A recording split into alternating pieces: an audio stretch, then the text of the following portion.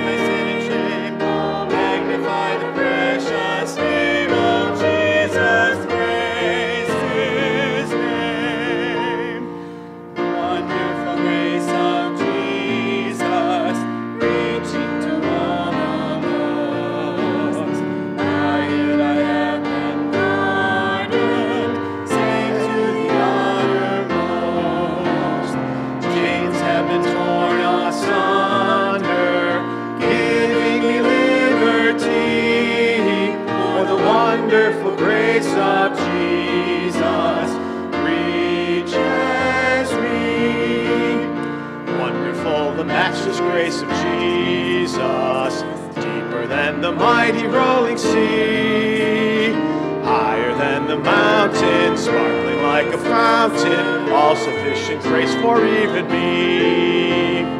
Broader than the scope of my transgressions, sing it, greater far than all my sin and shame. Oh, magnify the precious name of Jesus, praise him.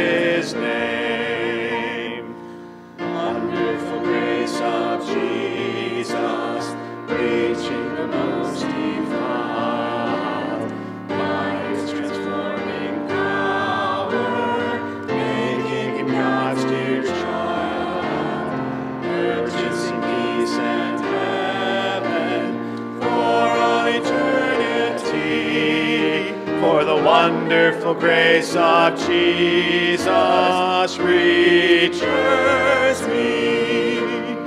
Wonderful the matchless grace of Jesus, deeper than the mighty rolling sea, higher than the mountains, sparkling like a fountain, all sufficient grace for even me.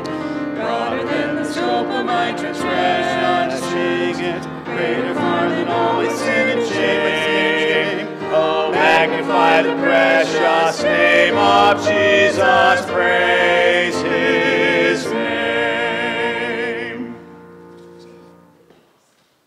Ooh, I love that song. So I didn't know what the first song was, and I was going up to my office to get my sermon notes. It's Wonderful Grace of Jesus. Listen, when you're singing bass in any kind of a choir, normally it's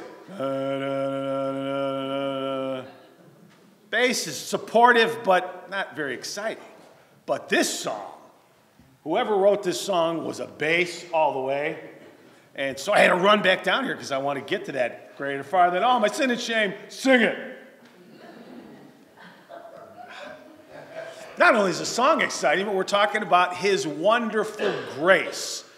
That means he gives us things we don't deserve. For God so loved the world that he gave his only begotten Son, that whoever believes in him shall not perish but have everlasting life. That, my friends, is the wonderful grace of Jesus.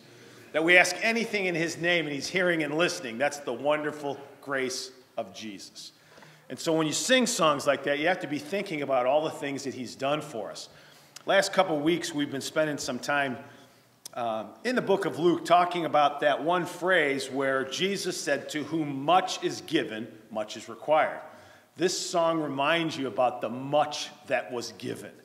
We took you back to Psalm 103 where it talked about his compassion and his love and how he separates our sin as far as the east is from the west. That's all grace. Great song to begin with. Father, thank you so much for your wonderful grace. Not only is this song fun to sing, uh, but Lord, it is wonderful to remember your wonderful grace. Sometimes, Lord, in the busyness of life, we need moments like this where we think about all the things that you have just given to us. It's hard for me to kind of think about what it was like for Jesus to leave the splendor of heaven. I mean, our only thing to compare it to is the beauty of this earth, and yet heaven is so much more wonderful.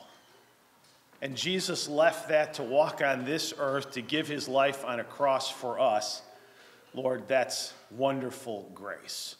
And so we thank you for songs that remind us of that and for services where we can kind of stop with all the craziness that's going on in the world and think about all the things that you've done for us. The folks who can say, To whom much has been given. Thank you for that, Lord. Encourage us throughout this day. Perhaps there's some folks here or online whose hearts are heavy this week. May they be encouraged by the songs and the word. We give this hour to you, Lord, we pray in Jesus' name. Amen.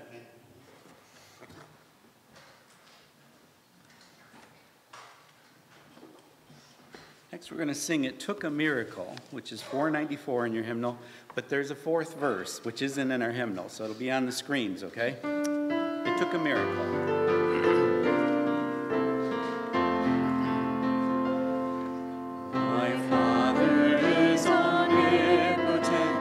That you can't deny.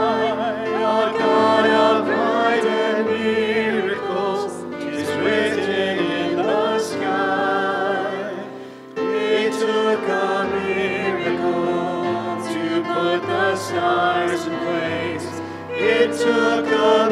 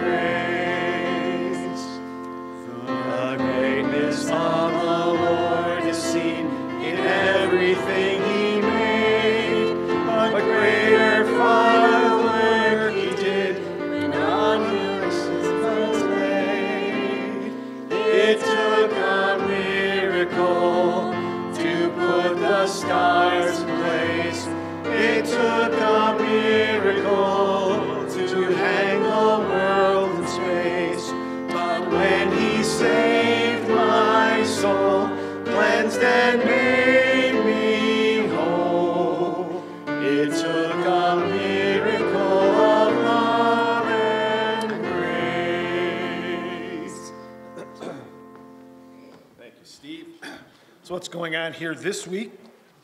This week, Wednesday night, of course, is going to be a prayer meeting. It's going to be online only.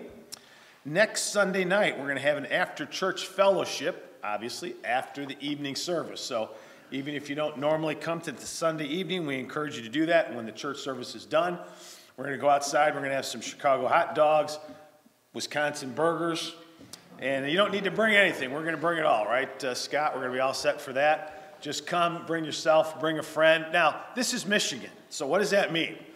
Uh, it's September. You could either wear shorts or a winter jacket. You never know what's going to happen around here, so uh, uh, just plan ahead for that, and uh, we'll make sure that uh, uh, we have some great fellowship together. Remember, we have a prayer phone that's open every day from 9 a.m. to 9 p.m. Someone will answer that phone, pray with you, take prayer requests. So that phone number's on there. We're going to make up some new uh, flyers to put up around town and some cards that you can hand out that'll have that number on it.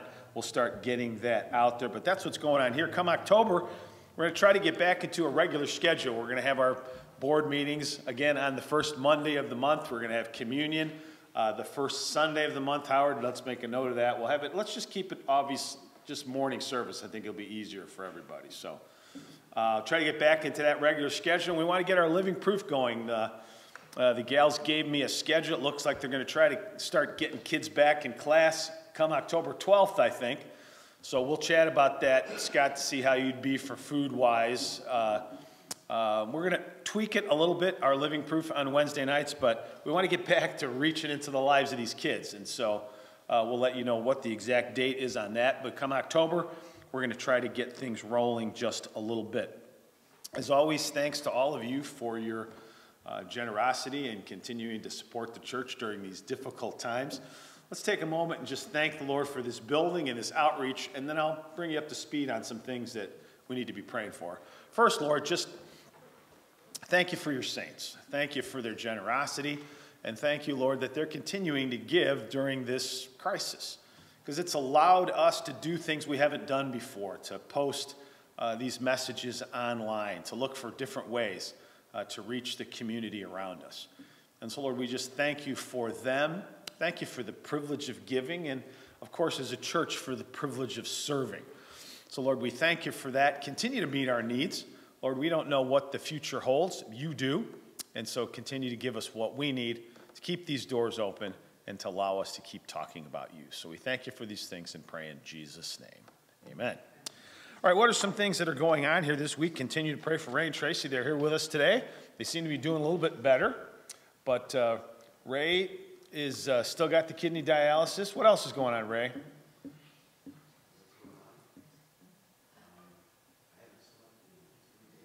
Haven't slept in three days, just not feeling well, just. Oh, okay. All right. So obviously, not only the transplant issues, now some circulation problems in the legs. And what about you, Trace? Do you think they got the meds pretty well? No, they're still working on that. Okay. All right. So keep praying for them. Nancy Fisher was able to get that shunt put in, and uh, keep praying for her. And then Leanne Rigstad. Uh, Leanne, uh, who's here today, was at work and slipped on some water and broke her kneecap. And uh, I got you down, surgery still next week, 29th? 29th. Okay, so supposed to be the 29th. If you've ever been dealing with if you've ever been dealing with workman's comp, there is a possibility if you get injured in 2020 that they may fix it by 2022. so uh, just pray for uh, them as uh, they try to figure that out. Leanne's the one kind of wandering around on, uh, on crutches. My guess is she'll be here working next Sunday night at the fellowship, and we'll keep working until they wire her kneecap back together. So uh, pray for her on that obviously so much stuff going on in our country. If you are not a regular prayer for your country, you need to be now because there is chaos going on. We're going to talk about it a little bit in our message, but you know, from the state of California where they're shutting churches down to now this argument over the Supreme Court justice and they're threatening to riot in the streets if Trump appoints somebody. I mean, there is chaos afoot. And so we need to be praying that God will keep this country together uh, for a number of reasons why we love this country, and uh, it gives us the freedoms to talk about Him. So you need to be praying for that on a regular basis. The other thing, too, is man, we're moving into the next flu season. Uh, and I don't know about you, but this is the time of the year that I was dreading to happen because everybody is so nervous about coughs and sneezes. And I want to wear a, I guess I might just get a t shirt that says, Listen, it's the allergy season. My no, I, I, sneezed about 20 times before I came over today, and if I was in public, somebody beat me up and throw me in a dumpster. What are you doing out when you're sick? It's allergies. man, it's crazy times out there, and so uh, we need to be praying for our church, for our outreaches, and of course for those in our church family that are going through difficult times. So let's take a moment as we do and pray for some of these things. And as always, if you've got prayer requests you want us to bring up, make sure that you give it to us. Uh, we got to try and figure out Wednesday if we have the kids here on Wednesdays, and I'm trying to do prayer meeting. Is that going to work? I don't know. Should do we do living proof on Tuesdays because they don't have any school on Wednesdays? If you're telling me right, no school on Wednesday, just virtual school on Wednesday. So we're going to have to talk a little bit about what night we want to do living proof. How would that work out? And then what I do about I might have to get here at five and, and tape the prayer meeting and you play it at seven, but we'll figure it out. These are all things that we have to try to. I've said this a number of times to people. There, there's no playbook for a pandemic. Uh, I went to Bible college, I went to seminary, and they didn't hand me a little book that says, listen, when COVID gets here, this is what you do. And so we're learning together, but I thank you for, uh, for you. Lord, thank you so much also for the power of prayer and the fact that right now, everybody here and the folks that are working online, we can unite our hearts and come into your presence and ask you for help on these things. You've done so many miracles for Ray and Tracy. And Lord, you need to continue to do those. We need Tracy's medicines just to get evened out so there's no more worry about seizures. There's no more worry about any of the other side effects that she's experienced as a result of that. And so, we need her, her to be in full health. And now, Lord, we pray for Ray as he's going to be dealing with this long term situation with his heart and worries about rejection and taking all these medicines, and now his legs are hurting him. And he has to go to dialysis several days a week. And so, Father, we know you did this miracle for a reason and that you are preparing something big for that family, a, a miracle of service for you. But we need them to be strong. I've been praying for a long time that these kidneys would just wake up and he wouldn't have to keep going to dialysis or get on another transplant list. And so, Father, we just pray that you might intercede for him. For the folks in our church that are struggling with cancer, and Lord, sometimes the treatment uh, is more difficult to go through than the cancer itself. And so we pray for all those that are struggling from the after effects of the radiation. I know some of the folks, boy, they just have no appetite as a result of it. And so, Lord, we just pray that you will bring them through this time of difficulty and get them to the point where they can hear that their cancer is gone and they can get back busy serving you. And then, Father, for Leanne and this upcoming surgery, we just pray that you'll kind of light a fire under workman's comp this week, and so that the paperwork will flow and that the doctor that she's found will be able to uh, repair this knee and get her back to work, get her back to the fact that she is feeling good enough to just be the, the blessing she is to us and her family, her grandkids. Lord, watch over her, and we leave her in your hands. And then for our church, Lord, these are well, they're new times for us, and we're not sure what to do. What day should we have living proof, and what should it look like, and um, how do we work prayer meeting into all of that? These are things we're not sure of, but you do. You know what's best for us. So give us the wisdom. Help us to see what would work for our kids that we have, for our church family. And so, Lord, as we move ahead, this is, this is the moment now. We need you to guide us and uh, show us what's the best way for us to make a difference for you in this community. So, Lord, we need help in all these things. And so we run to you and leave ourselves in your hands, and we pray in Jesus' name. Amen.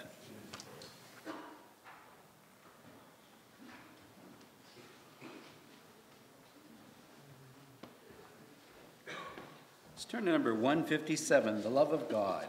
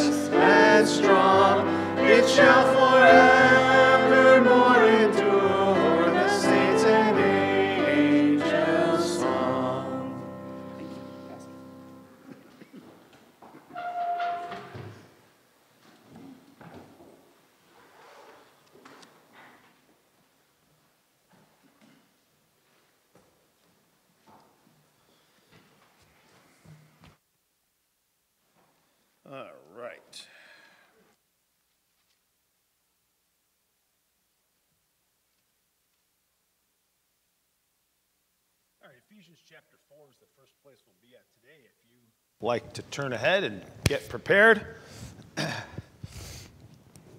Glad that you are here with us today. right, we're in this section, and we've been in it for a while because Jesus has kind of paused from his normal teaching.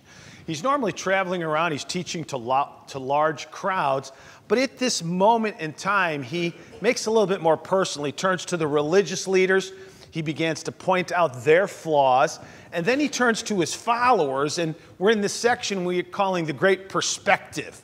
He's talking to them about how he sees the world, how he sees service, and he's comparing it to how the world views things.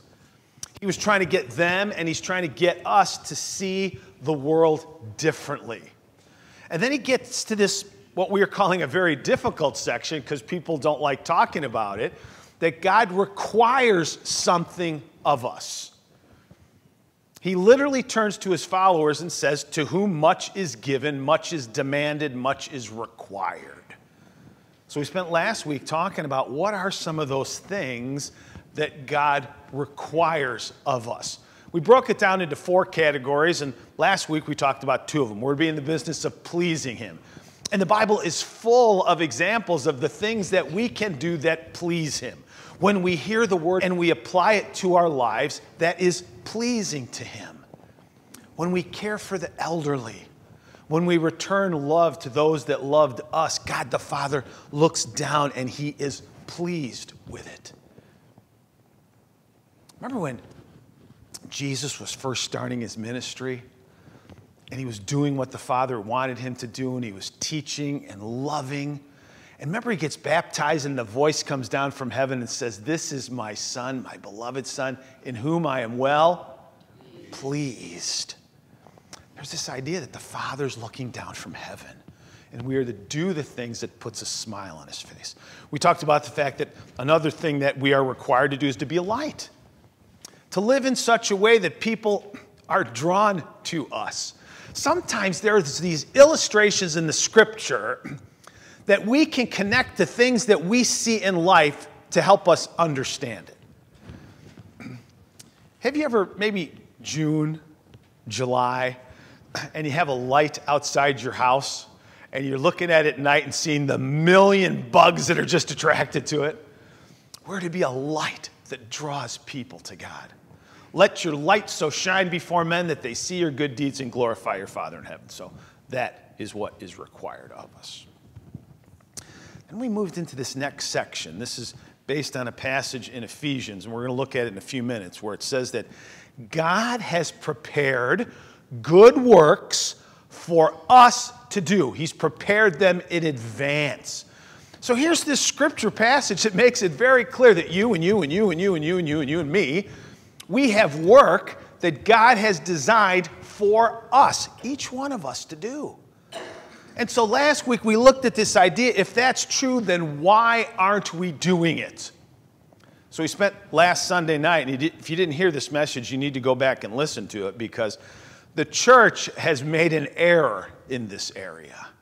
See, we're in what I'm not calling it, but people are calling it the mega church age. You know, it's like there's these giant churches around us. I mean, there's some of them, there's one near us that well, before the pandemic, 20,000 people would go there on the weekends. And that's just one. We've got like four or five of them around us. And they've gotten into this pattern that the bigger they get, the more employees that they get. And pretty soon the church begins to do all the work. And then people just come in on Sunday and they put their money in the offering plate and then they just go back home. So we've telegraphed the wrong message. Another mistake that the current church has made is that they, they've made services so much entertainment. They've got light shows and they got smoke and they got bands. I was sharing last week that one of the churches in the area here literally has a, um, a job opportunity up online. They're looking for a lighting director. You think that'd be pretty big? But it says right in there no, no, no, no. No. The lighting director reports to the technical director. Who does the technical director report to? So we put on these shows And people end up going to church just to be entertained. And then, of course, there are pastors out there that are teaching falsehood. Joel Osteen is well known for his first book, Your Best Life Now. And so people come to church and they're wanting to know how can I get my best life now? And all of those things have combined together and caused modern day believers to kind of be in a fog.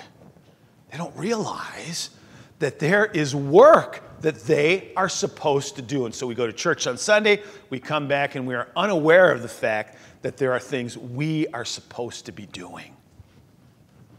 How do you get rid of the fog? How do you get people to see clearly? Well, the answer is pretty simple. You open up the Bible. You look and see what does the word of God have to say about this subject. And so that's what we're going to do today. We're going to lift up this fog of confusion and let people know that, yes, in fact, there is work that they are to do. And I left off with this passage. Let's look at this. This is Ephesians chapter 4 and verse 12. In case you think I'm, I'm off on this, case that you think, well, maybe the church is supposed to be a place of entertainment. Maybe it's supposed to be a place where I just come in and enjoy, and the church does all the work. In Ephesians chapter 4 and verse 12, I literally have a job description. It says in there what my job as a pastor is. So let's read it and see if it contains any of that stuff. Let's see if the word entertain is in there anywhere. Let's say, see if anywhere there in there that the pastor does the work. You want to lift the fog, let's just read what the word has to say. Ephesians chapter 4, this is a passage where he's talking about gifts that were given. We're going to get into this in a few minutes. but it says, It was he who gave some to be apostles. There's some who are prophets, there are some to be evangelists, and some to be pastors and teachers. Now, these higher offices, these are those that teach the word and train people, missionaries. So, what, what is their job? What is their role? Well, it continues to say what it is to entertain God's people so that they go home happy. Is that what your Bible says? Oh, I, am sorry, I read it wrong. Some to be pastors and teachers, to, do all the work for God's people so that they don't get stressed. Yours doesn't say that either? Wait, let, oh, I'm sorry, I had some mud on there to prepare God's people for works of service so that the body of Christ may be built up, so we all reach the unity of the faith, we all come to the knowledge of the Son of God and become mature. That's my job.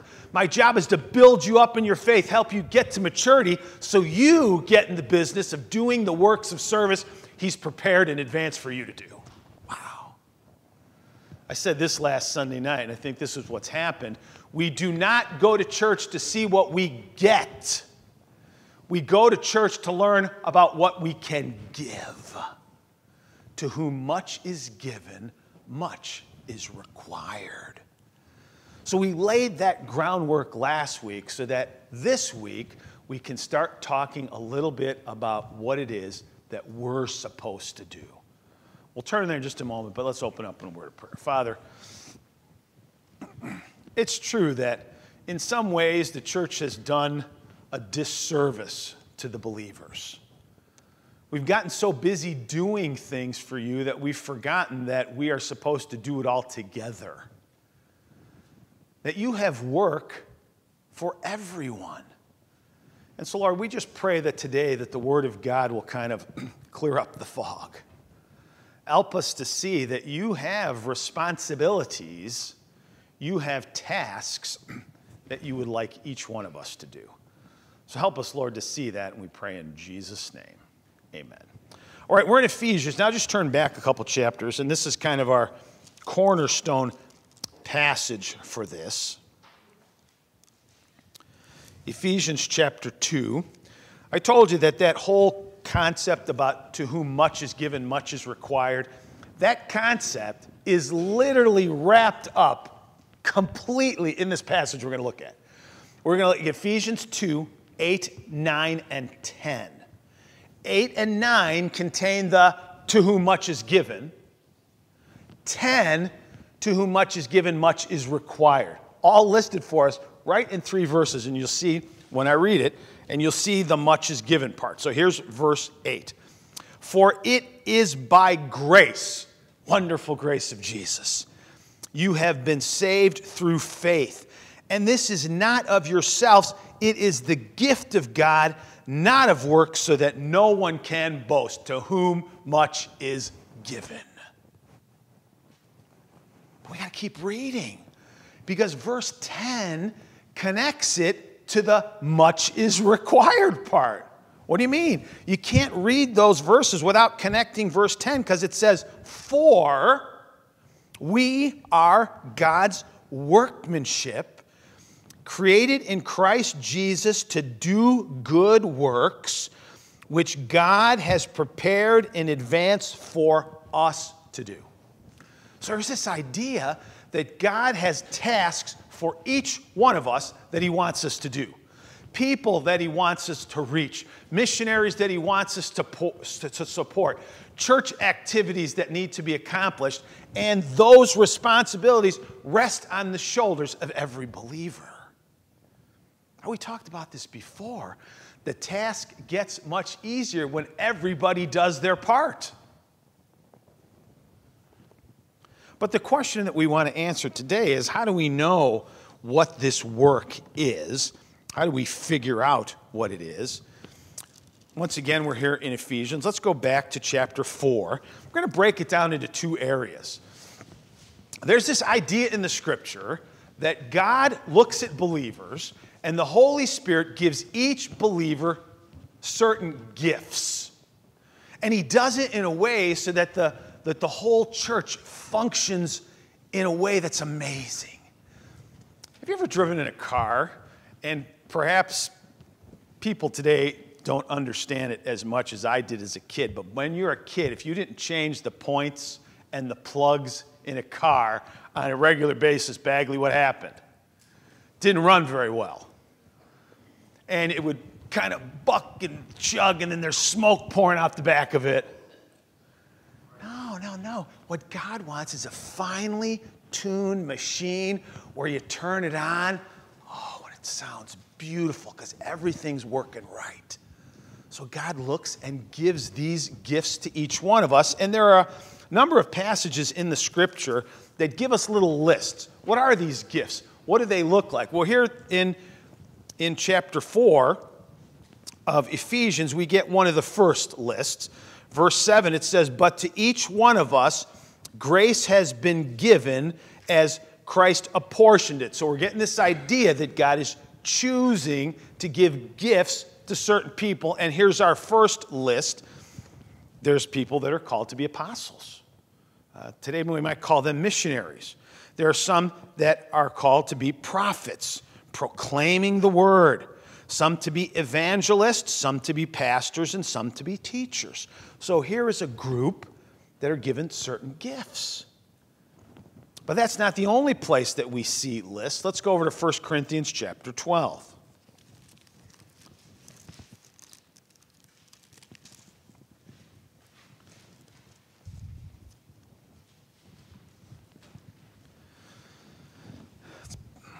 Let's go down to verse 4.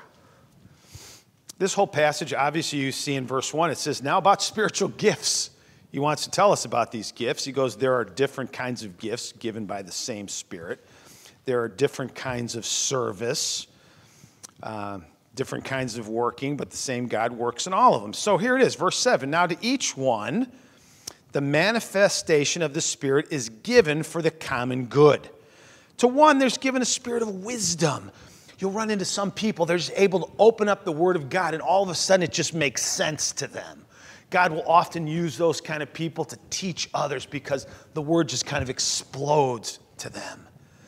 To another, the message of knowledge to the same Spirit. To another, faith by the same Spirit. Have you ever been around people that have great faith and they're always thinking big things? You got to have people of faith in the church because they're the ones that are saying, hey, let's just try this big thing. Sometimes it'll drive people crazy. Many years ago, we had two guys on the board that approached the world a little bit differently. And there was on the corner of Six Mile and Curry, that corner piece there, you know, that has that little tower in it for the airplanes, that was for sale. There was 17 acres there. And about that time, you know, when you have a building that was built in the 1800s, as ours is, it takes a little bit of work. So one of the guys on our board was like, let's sell this place and go buy that 17 acres. We can build a new building. It'll all be on one floor. Everything will be new. And he had the, let's just do it. Of course, he almost got lynched by some other guys on the board, but I appreciated his great faith. Doesn't mean things always happen, but people who are given the, the gift of faith dream big, they think big. You got to have them because they're always pushing you because they trust God in, in ways that are amazing. That's a gift that God gives to people. And God wants you, if you have that gift, to be exercising it. Healing, miraculous powers, prophecy, speaking in different kinds of tongues, interpretation, all of those are given in the same spirit. Now, here's what verse 11 is important it says, All these are the work of one and the same spirit, and he gives them to each one just as he determines. So the Holy Spirit looks at you and says, Listen, what, what, what gift do you need that will help the body of Christ grow and mature and then make a difference for me out in the world? Let's go to Romans chapter 12. There's another list of these gifts there.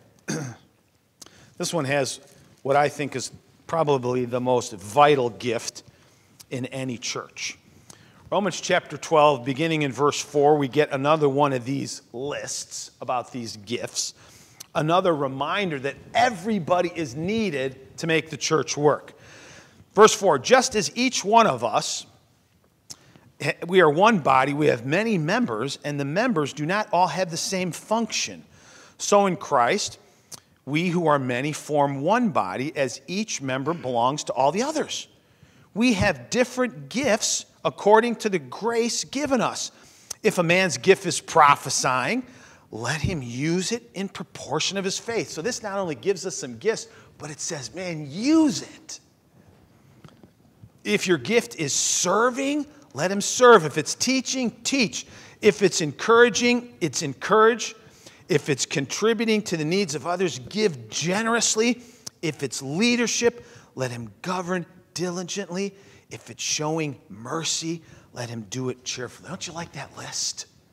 You got to have people in your church that are filled with mercy because we are a group of misfits. Does anybody agree with that? And we are one messed up ball of people.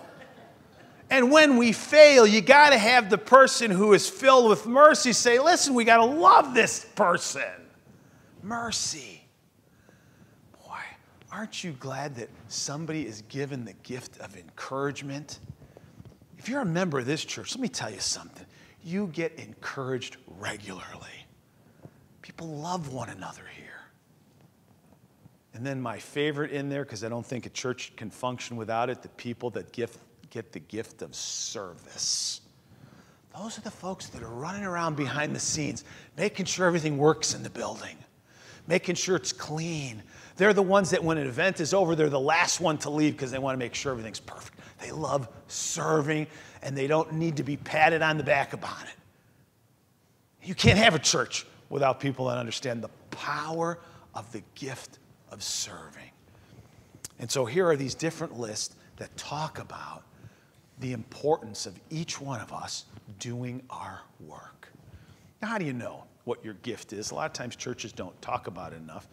I put two things up on make sure Howard puts a link on there for you. There's a book that I read years ago. It's called The 19 Gifts of the Spirit. And um, I don't know what happened to it, but we'll get it back. Uh, that book is still available on Amazon. It's available in an e booklet form if you're the type that likes to read on your Kindle. And it's very easy. He actually goes through these lists that I just pulled up and talked about what do these gifts do and what do they look like in the church. And then the last couple chapters is a little worksheet to kind of help you figure out maybe what is the gift that God has given you.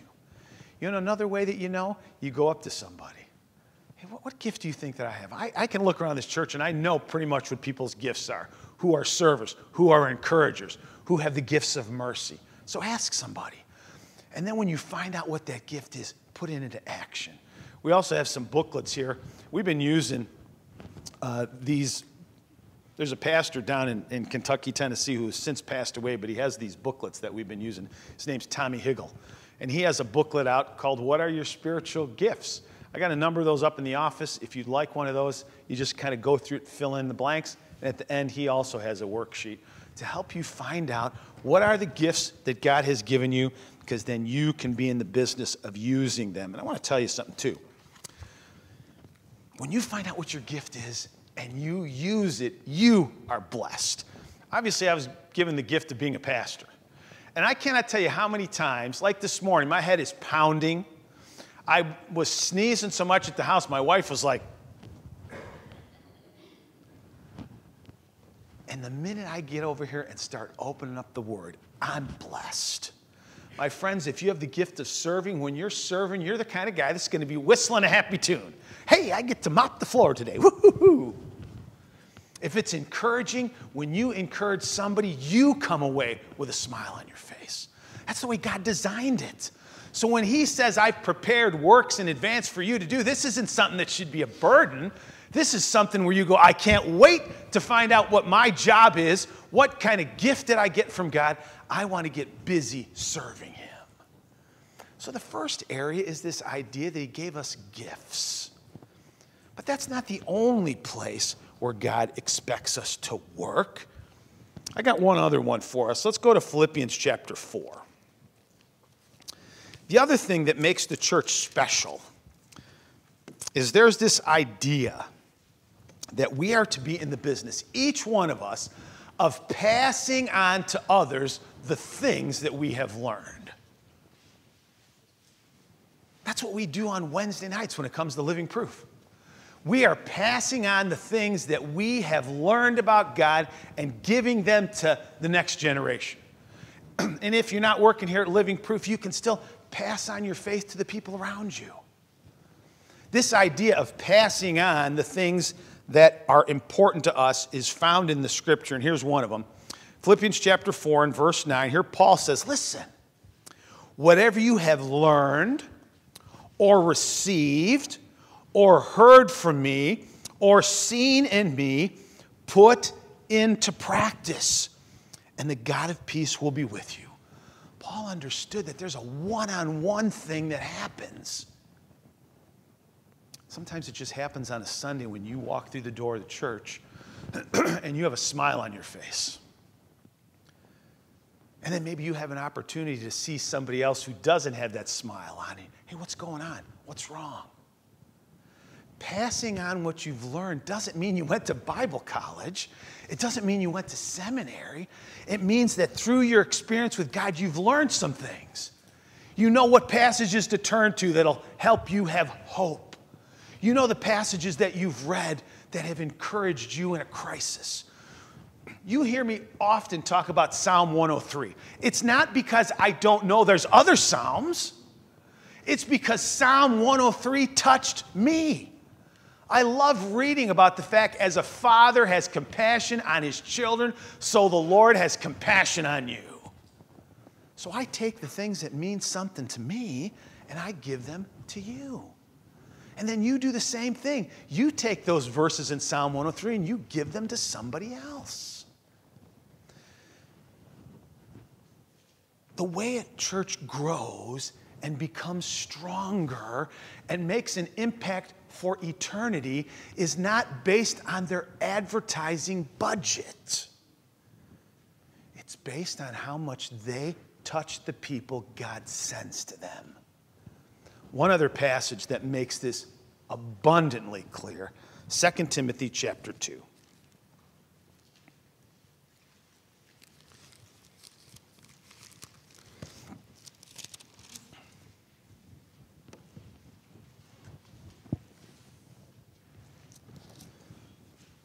Here's kind of the whole discipleship, teaching, training process in one verse. And the things you have heard me say in the presence of many witnesses. So, the, just the things you've learned. You guys know about salvation, you know about hope, you know about that God's our refuge, You sang about part of it today wonderful grace of Jesus. So, the things that you've learned, heard me say, entrust to reliable men who then will be qualified to teach others also. So here we have this picture of one person teaching another. And I just found some of these grandparents reading to their kids, teaching them. I read, I still read Nancy Drew stories to my grandkids. Try to get them excited about reading. Parents teaching. How about moms just teaching in the kitchen? You know, at our living proof, one of the things that we do each week is we te- teach our kids about the value of the kitchen, teaching them how to cook. We look forward to that. It's not just teaching the word, it's teaching life to life. Because your life has been impacted by the word, and you can pass some of those things on to others. And listen to me when you get this right, you as an individual can make a tremendous impact. Yesterday, every night when I'm up working on my sermons, I open up YouTube and I listen to music in the background. I happen to currently there's a lady on YouTube called Natalie Rains, and she just has a little YouTube channel where she plays piano. I love listening to it. And every Sunday night at 8:30, she has uh, an online program where you can type in a song that you want her to play, and then her husband reads it, and then she plays it for you. It's wonderful. But now, YouTube, they're getting crazy with these ads. So I'm working on my sermon, all of a sudden my music stops. Oh no, another ad. So I go over, and you know how it goes. The ad goes for five seconds, and you get to hit the skip ad button. It kind of caught my attention. This guy is telling the story of his mission.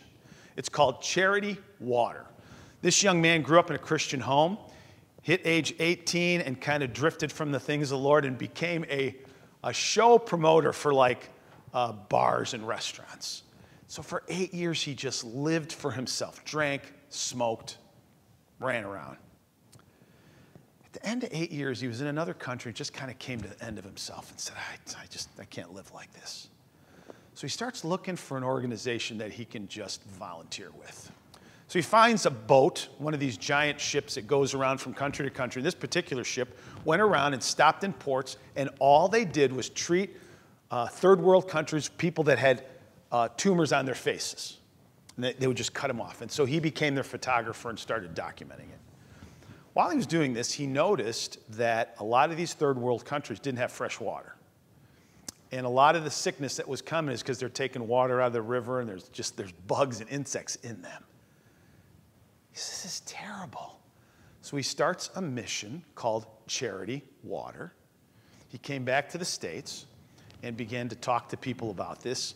There's over 100 million people in this world that don't have access to fresh water. So he started this mission, and to date, he's raised millions of dollars and he's put wells in all these third world, world countries and up to this point has now provided fresh water to 11 million people. Now, it's not a Christian organization, but the reason I bring it up is here's one guy who made a difference that impacted 11 million people because he was passionate about something. My friends, shouldn't we be passionate about Jesus Christ? For God so loved the world that he gave his only begotten Son. And there's this reminder that we don't have to be a college graduate to pass things on. We just have to know a little bit more than the people we're dealing with. And sometimes the little things that we can do will make a difference. The reason that's important is because sometimes on Wednesday nights, we're only with the kids for, for like an hour and a half. And you start to think to yourself, well, I can't do much in that hour and a half. Yes, you can you can show kids love and teach them one thing that could impact them for years. I thought about this. So, the season is drawn to a close. I've had BLT sandwiches almost every day. so, I was at the little stand on Seven Mile. I don't need tomatoes because my church family has blessed me abundantly. But I needed some corn. And so, I was at the little stand, and as I was paying for the corn, right there was a little box of grapes. Now, when you go to the store, you buy like the seedless, you get the reds and the purples. But what they had were Concord grapes. They're hard to find. They're the kind that grow on the vines, that's what they make wine out of. And it reminded me of my childhood. I grew up in the city, I didn't have farms like you guys have. I had alleys that I walked down. And in the town that I live in, there was this little unwritten rule in our town that when people planted a garden, if the garden grew into the alley, it was fair game to the kids in the neighborhood. So I'd wander up and down the alleys waiting for tomatoes to come in bloom. I loved tomatoes back then, I could grab them. And I remember the first time walking down the alley, this guy, this big grape arbor, and these beautiful blue grapes were hanging into the alley. So I grabbed one and I bit into it. I'm like, ugh, who would eat those? So I left him alone. Flash forward a month or two, and one of the older kids in town was cruising the alleys with me. We were alley cruisers. He goes, Look, grapes. I go, Don't do it, dude. Don't do it. You'll be sorry. He goes, No. So he pulls one off the thing. He goes, Trust me on this. He says, Put this in your mouth. He said, Take your tongue and push it against the roof of your mouth. He goes, the inside pops out. He goes, swallow it. Now, I like this kid some thought. Maybe he's not setting me up. So I pressed it against the roof of my mouth and I swallowed it. It was so sweet. He says, now chew the outside. Hum. 50 years ago, this guy taught me a simple thing about Concord grapes, and I still enjoy them today. I bought that little basket and I went out to my trailer, and by the time I got out there, I ate the whole basket and I had upset tummy. One thing that somebody passed on to me 50 years ago still impacts me today.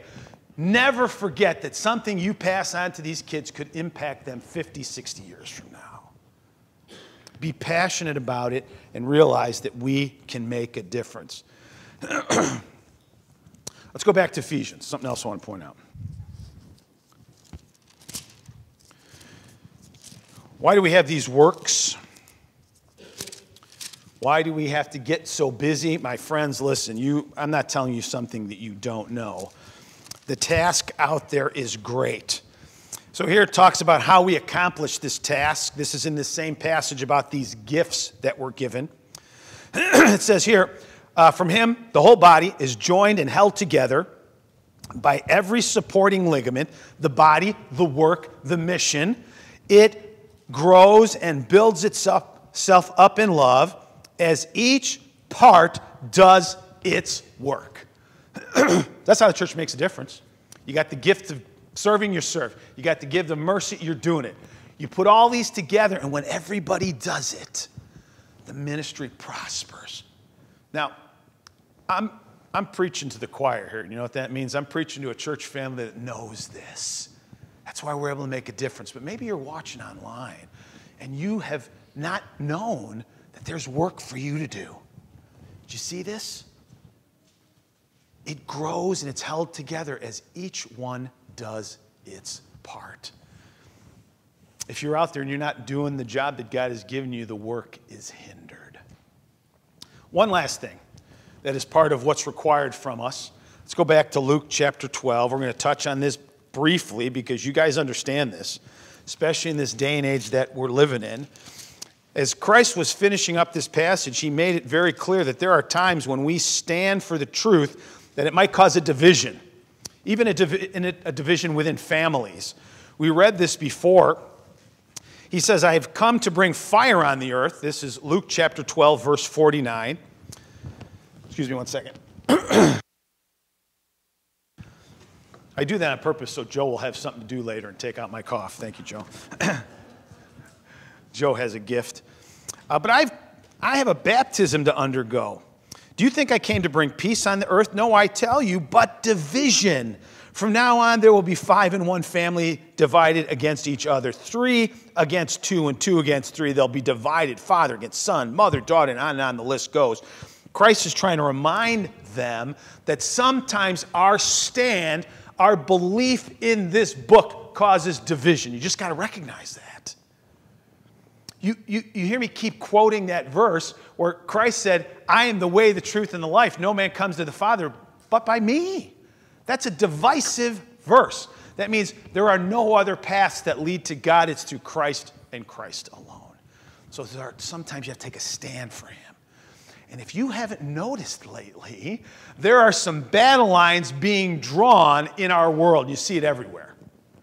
You can't help but open up your social media posts, and here's what's going on. Well, there are some people that say blue lives matter. There are others that say, nope, it's black lives that matter, and they're in conflict with one another. Now we got the election coming up. There are the Biden folks, there are the Trump folks, conflict. And now Ruth Bader Ginsburg decided to pass away this last week. And now there's a conflict about that because Trump wants to appoint somebody, and the Democrats say no, it should be the choice of the next administration. And so I'll tell you, the battle lines are being drawn. Are you for abortion? Are you against it? And in the middle of that, you and I must take a stand for the cause of Christ, even though it will cost us. There's a thing in social media, and it's simply called unfriend me. and it involves this moment in time where you take a stand, and that stand is the opposite of what some other people, what they believe in. And so they'll post something like this one. It says, I'm going to make it uh, really simple. If you are against gay marriage, please unfriend me. The other guy says, if you are anti police, I'm blue family, unfriend me. So the battle lines are drawn. You better see things my way, or I don't want to be your friend. Doesn't that kind of sound exactly what Christ was talking about here? That there's divisions that will happen?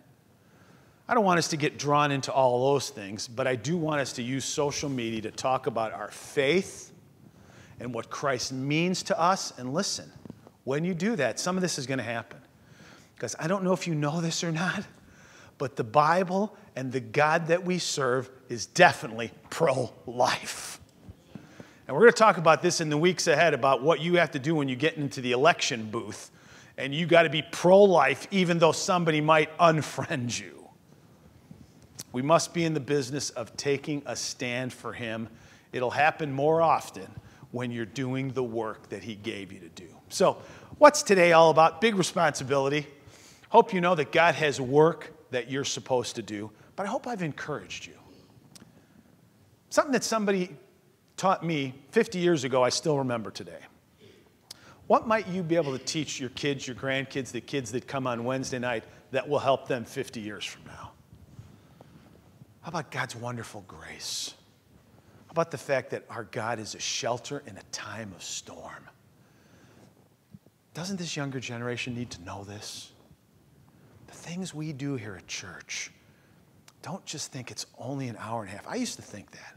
I used to think, man, it's only an hour and a half and they have all this other influence all week long. When you think that, you forget about the power of the Word of God and the power that your life has to make a difference in others. So when you start hear us talking about living proof, it might be Tuesday, it might be Wednesday, I don't know what it is, but you better think to yourself, I want to be a part of that. I want to make a difference in the lives of kids. Remember today, God has work for you to do, God has work for you to do. The only question you have to ask yourself this week is Are you doing it? Father, thank you so much for the word. And even though it's talked a little bit about responsibility and that word makes us uncomfortable, we thank you for the reminder today that we can make a difference and that the body of Christ functions completely when each part does its work. I thank you for this church family because they do their work. But Lord, I know there are folks listening that maybe they've been sitting on the sidelines. Remind them today that you have a work specific for them and that the body of Christ is built up when they do their part. Lord, this is a time for soldiers to rise up. We just pray that we'll do our part. Thank you, Lord, for the word, for the privilege of teaching it, for the privilege of hearing it. Thank you for these things today, Lord. We pray in Jesus' name. Amen. Hey, we'll be back tonight at 6 o'clock. See you then.